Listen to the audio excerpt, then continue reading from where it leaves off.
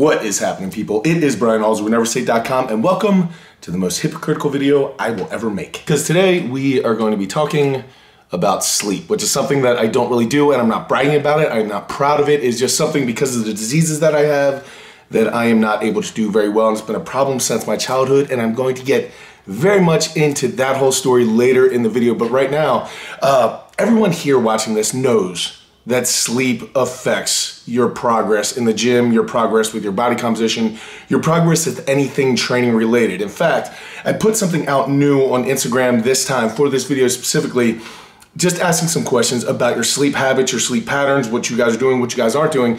Because when I'm going to make a video about sleep, there's so much information out there about sleep that's all the normal junk that everyone's supposed to do and everyone's supposed to have. However, it's going to be different for a training group and especially a training group that follows me. Like, if you follow me, that means you're interested in a certain type of training, and I want to make my videos as poignant as possible to the people watching it. So what I did was on my Instagram on the story, I just did a bunch of polls and I'm gonna be throwing those up here as I just talk a little bit about this. But just off the very first one, 93% of you know that getting enough sleep is going to help your training, yet a lot of you still don't do it. Guilty. But sleep is often the first thing to get pushed away. We choose a screen over sleep. We choose talking to people over sleep. We choose a lot of things over getting enough sleep but the truth of the matter is that maybe not getting enough sleep affects you tomorrow or the next day or the next day, but sleep is very much like a fire extinguisher. You don't really know that you need it until you do. Now, of course, there have been many videos made about this topic. And if you guys want to check those out, feel free because I'm not going to cover a lot of the same stuff. A lot of people will tell you that the sleep definitely negatively affects your both physical and mental capability in the gym. And I'm not disagreeing with that whatsoever, but I'm going to talk about the physical for just a second. I will say that you do tend to get fatigued a little bit faster if you're going a little bit of sleep. However, when someone walks into the gym and they say, man, I didn't get any sleep last night, that's why my lift sucks. That's not true at all. Physical, physically, you can push through no sleep for quite a while before it really starts to affect kind of your physical output, like drastically. Just look at anyone going through any type of special operations, type of selection courses, and those types of things. You will see people do superhuman things that should not be physically possible. However, they are. The thing that makes the difference in all of that, which is what they're actually trying to weed out, is the mental side. And that is where you're having problems in the gym. It is not about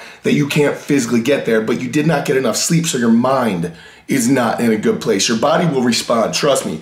If someone breaks through that door and holds a knife to your throat, you're going to be able to react just as powerfully, just as explosively. You're not going to be like, bro, wait a second, man. Like, I only got like four hours of sleep last night. You know what the real problem that is happening, and the same reason why so many people cannot make it through a special operations selection is because their mind starts to give up, right? When you don't get sleep, your mind starts to make bad decisions. It makes a bigger deal out of small things. It just doesn't make logical choices. And in the gym, you're just not able to kind of turn on that switch, like have that intensity, have that focus. It all just seems like it doesn't really matter as much. You can't get your just juices going. That is why you're not performing as well. So it's my opinion that when it comes to short-term sleep deprivation and its effects on training, I don't really like to look at the physical. I like to look at the mental and figure out different ways that I can switch my brain over because my body will always follow my brain. Now, I'm not saying that there are not big physical problems when you are in especially long-term sleep deprivation. You're going to look at things like your body can't even digest correctly, so it's going to up your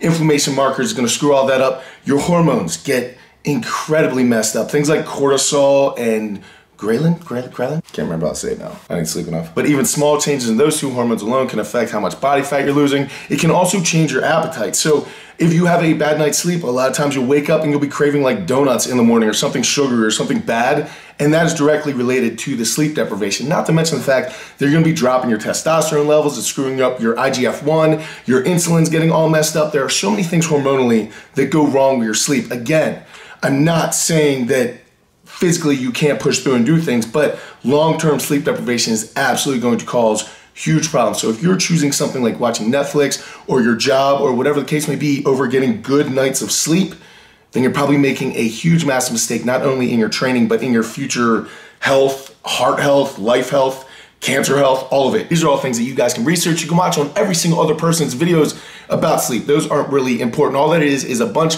of big words to say if you don't get sleep, you're going to be a weaker, fatter, less performing version of yourself.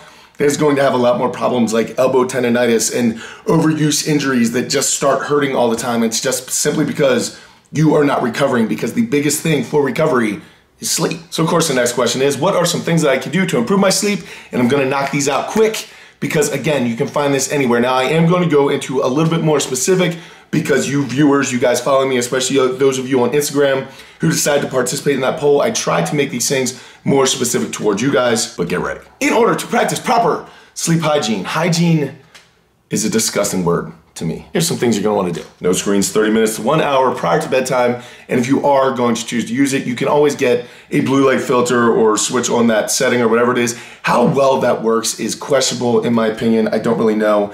Uh, I still think you're taking things into your mind. I think you'd be better off just kind of chucking it. Make sure that your room is cold and dark. And when I say dark, I'm not talking about like you have your light on or a little charging light. Dark, everything dark. No caffeine, six to eight hours prior to bedtime. Now, I know that seems drastic, but trust me, if you're drinking caffeine within eight hours, it is affecting your sleep. I know a lot of people are like, oh, it doesn't affect me, it doesn't affect me. It does. You don't think it does because you drank so much caffeine that your receptors are kind of fried. Trust me, just thinking about how your brain works and how stimulants affect your body and your brain and your function and everything, you will sleep better and sounder more sound if you cut that caffeine out. I am not a stupid man, and I know a lot of you have no choice but to work out post your job, whatever your occupation is. And for most of you, that ends up being in the afternoon or the evening. And so you end up taking pre workout because you did not have a good night's sleep before, so you can't turn on mentally. You're trying to stick a band aid on it by sticking more caffeine in your body so you can get up for this workout, but then you can't come back down before the end of the night and then it just restarts a cycle, all right? Trust me, if you get enough sleep, you do not need pre workout. And then when you do use pre workout, it will actually work the way it's supposed to work and get you for real amped up instead of like just trying to continually hammer, hammer, hammer more and more scoops of that. So, uh, we don't really know also what that is doing to us because it hasn't been around long enough. So I just be very, very careful with it. I have a couple friends who have had some health issues already from pre workout. Uh, not to mention the fact that since it's not really tested by the FDA, we don't know exactly what's in it. Meth. And I'm being dead serious. Some pre workouts have actually tested positive for meth. So if you want to sleep better, no caffeine, eight hours prior to bedtime. Also, a very good idea for your sleep is to set a bedtime and a wake time and you stick to it all of the time, which means that whether you have your best friend's birthday party or whatever the case may be, you do your best to stick to the sleep schedule. And if you go off one day or two days or whatever the case may be, every other day you're on the sleep schedule, all right? It is very, very, very important. And if you do go off, you might want to try to make it up with naps. There are a lot of things you can kind of do, but having a steady bedtime and a wake up time will do amazing things for your sleep because your circadian rhythm actually can work as a rhythm. Also avoid stressful things before you lay down to go to bed. Do not check your bank account. Do not get into a battle with your significant other. Do not watch a TV show that is going to get you amped up or stressed out or something like that. Those would all be negative to coming down to sleep. If you are up in the middle of the night looking at the clock, trying to do some stupid math going, if I fell asleep right now, I would get. That describes you. It is time to get out of bed, my friend. You are probably not going to sleep. You might as well go change your position, go change your environment, go try to do something that's exciting to you. Even go sit down and start watching a TV show that you want to watch. If you've ever noticed, it is so much harder to stay awake during something that you're interested in as opposed to something that you wish you could fall asleep through. Sometimes changing your environment helps, and if you're getting frustrated laying in bed because you can't sleep, it is not to help the situation. Another thing that might help is if you exercised a little bit harder. I know a lot of you watching this do exercise, but putting forth a little bit more effort or maybe adding that conditioning. Maybe if you're worried a little less about overtraining and you gave out your full efforts, you would be exhausted enough that you would absolutely collapse in into bed. I'm not saying that as many of you but that is some of you. Guilty. For a lot of people, myself included, which I'm going to get into later, it is all about reading, relaxing, or a coming down ritual, some sort of before bed ritual that just kind of brings your body and your mind and just your emotions, your soul, everything just starts to come down. So hopefully you can drift off into sleep. This helps so many people, but a lot of people do not do it. And I actually include my recovery in it. So I kill two birds with one stone. I actually do a lot of stuff. So I'm going to talk about that here in just a little bit, but consider building some sort of bedtime routine or habit that will just help you tell your body and your brain like, hey, it's bedtime. Like let's let's get going. Like let's go to bed now. Just like puppies and babies. Some of you may need to get a little bit more sunshine every single day, especially this day and age. A lot of people spend a lot of time inside behind a computer and just getting out in the sunshine, get some vitamin D on your body, let your body realize like, oh wow, that's the sun. This isn't all about artificial light. Sometimes can do a lot for people. Taking a short walk at lunchtime, walking home, parking further away, just so you're in the sunshine, walking out to your car can do a lot to help a lot of people's number one mood, but then number two, also their sleep. So don't stay away from sunshine. Another thing that's been very helpful to me is a noise machine, or my phone has an app that I use that just plays kind of either rain music or train music or something that's just kind of repetitive, like a white noise and ambient noise. So I'm not just freaking out over every single thing. With my background, my past, if like I hear a bump in the night, I am up, I'm moving, and then once I'm up and moving, my adrenaline's going and I am not going back to sleep. So having something that kind of blares out, even a fan that's just kind of going, droning all the time, can do a ton to help your sleep. If you're not taking advantage of that and you're someone like me who is a little bit more high strung, a little bit more wound up, uh, it might help you out to kind of have something that takes care of kind of your subconscious so you can just kind of drift off and not worry about every single little bump and noise in the night. Final thing of this section that I want to talk about, I know it's not popular, is alcohol use. Now, I know a lot of people choose to drink alcohol, and trust me, I have drank plenty of alcohol in my life. It's not really too much part of my life now, partially because I drank too much of it before, and partially now because it gets in the way of my goals. Uh, but if you are using alcohol to either self medicate or you do regularly drink alcohol, realize that there is a rebound effect. For many people, you drink alcohol, it makes you fall asleep. And that is wonderful because you think, great, I'm going to sleep. But then a lot of times it comes back up and almost has an energizing effect. And that's why a lot of people will pass out and then they'll wake up a couple hours later and just be wired in the middle of the night and then they'll fall back asleep and then wake up really junky for whatever they have going the next day. I would highly encourage you guys, not only for your training, not only for everything, to just look at your alcohol use and how you're choosing to use it. Not saying don't drink, absolutely. I'm I'm not one of those people that tells people to not do anything. I think you should do whatever the heck makes you happy. However, if it is affecting your training, then again, you just can't complain about it. It's just like if you're going to complain about sleep and you're unwilling to do something to better your situation, then you just lost all rights to complain about it. Same thing with alcohol. If you are saying that your training isn't going the way it is, that is one of the biggest reasons why people hamstring themselves when they're in their younger ages is just because they spend too much time drinking and partying, which affects their sleep. It affects a lot of things. All right. So I'm not saying don't do it. I'm saying consider the use and how it affects your training if training is that big of a priority in your life. If it isn't, party away, my friend. Now, for the second half of this video, I'm going to explain to you guys my sleep problems, what I have done to try to help it, what has worked, what hasn't worked, and then I'm also going to tell you guys about what I'm currently doing as part of my bedtime routine so that hopefully you guys can adapt some things that will help you guys fall asleep just as well. Now, when I'm talking about my own personal sleep problems, they are very, very severe. So I don't, I'm not, again, I'm not trying to brag, I'm not trying to minimize someone else's, um, but I've been regularly told that my insomnia is some of the worst that doctors have ever seen. So my sleep problems actually started at a very young age due to some trauma that happened. Uh, I actually just talked about it in one of the Elite FTS videos, the Fighter Mindset video. I talked about it a little bit in there, but I had some stuff happen to me as a kid uh, that made me not feel very safe at night. And then you combine that with the fact that my mom is very much a night owl. She regularly stays up to midnight, one o'clock, two o'clock in the morning, and my dad is very much a morning person because he goes to bed at like 7:30, 8 o'clock at night, and if he's sleeping at like 4:30 a.m., it means he slept in. All right, so. Uh, as I was growing up, I always worked construction with my dad, and I would always get home from hanging out with my friends or whatever the case may be. My mom would still be up, so I'd hang out with my mom for a couple hours till like you know, midnight, one o'clock, two o'clock, and I didn't sleep well anyway, so it wasn't a big deal. And then I'd regularly wake up at four o'clock in the morning with my dad, work construction all day and then go do my gym stuff and then hang out with my friends and do it all again. That was my life. And that's really easy to do if you're a complete insomniac who only sleeps three to four hours a night. However, it just continually got worse and worse. It got to the point where I could not even sleep in the same environment for more than like an hour, hour and a half. And this still is till today, uh, still keeps up. So I would go to bed in my physical bed and then an hour and a half later I'd wake up, have to go sleep on the couch for about an hour and a half. And then I'd wake up from there, go back and sleep on the floor, and then the floor would go back to the bed, and the bed would go to the couch. And that continued on. Even when I was in college and I lived in an apartment with six other people, much to my roommate's chagrin, uh, I never slept in my room. I'd always be out in the futon when people got up in the morning trying to get ready for class or work or whatever they were doing. And uh, yeah, they would always be walking around me, sleeping on the floor, sleeping on random places because uh, I just can't stay in the same environment. It's it's it's a challenging thing. And then later in life, when I got involved in counterterrorism, that schedule was so erratic, right? It wasn't even like shift work. Shift work, a lot of times you need to work nights and then switches over daytime stuff. But this job, there was no regularity. So like one day you'd need to leave your house at like 4 a.m. and then the next day would be like 6 p.m. and then you'd leave the country for like three days, then you'd be back and it'd be like a 2 p.m. time to leave for work, and then the next day would be like 4 a.m. and it was all screwed up, jumbled up like that. So trust me, that created a ton.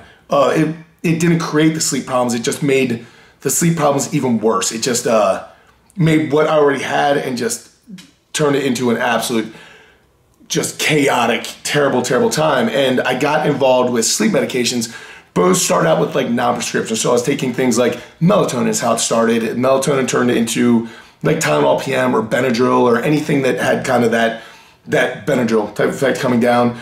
Which then I got prescription sleep meds of Ambien, Lunesta, Belsomra, other prescription sleep meds like Remeron to try to bring down my mindset. Like I was on so many different things and I would stack these things. It was nothing for me to literally take Ambien, Remeron, Ambien CR, Lunesta, Belsomra, all on top of each other, plus Tylenol PM, plus things like dangerous, dangerous, dangerous levels of, of drugs that I had to take to even get like five hours of sleep.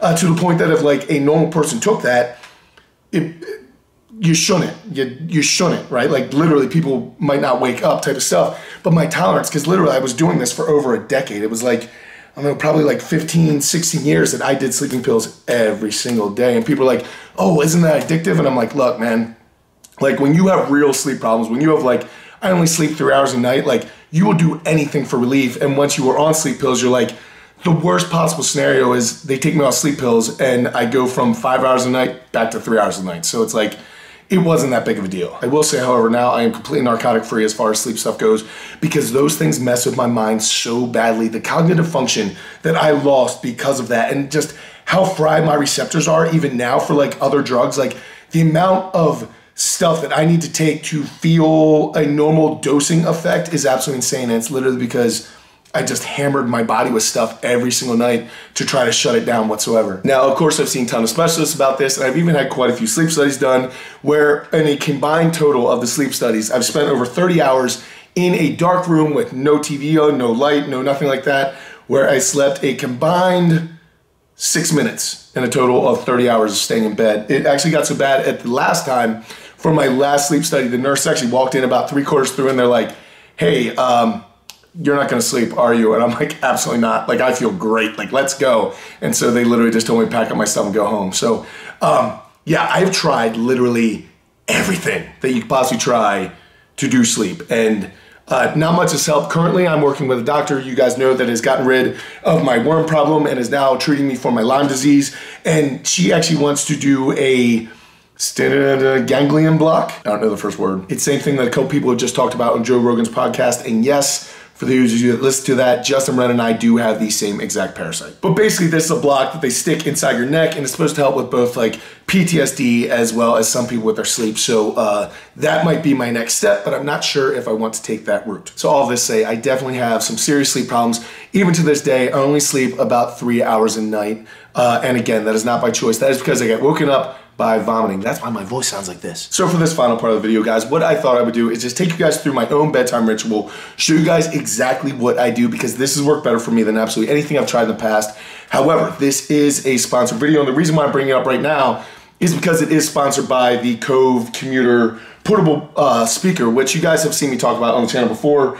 Uh, and you guys know that I don't promote things I don't use. I am getting paid to talk about this, but I am not getting paid to say nice things, so everything I say about it is absolutely true. But the reason why I'm talking about it right now is because this is a part of every single step of my bedtime process, um, and I actually do use it literally every single day. I have like three or four in my house. One's in my bathroom for like when I'm taking showers, I listen to podcasts and all that kind of stuff, but it is part of every single step of this ritual. So as I go through, I'm just gonna tell you guys how I use it. If you guys are interested in picking one up, they are awesome. It gets an eight hour battery life, uh, completely portable, does awesome with Bluetooth, very, very durable. I am not easy on things and I beat many of these up pretty well and they also work perfectly fine.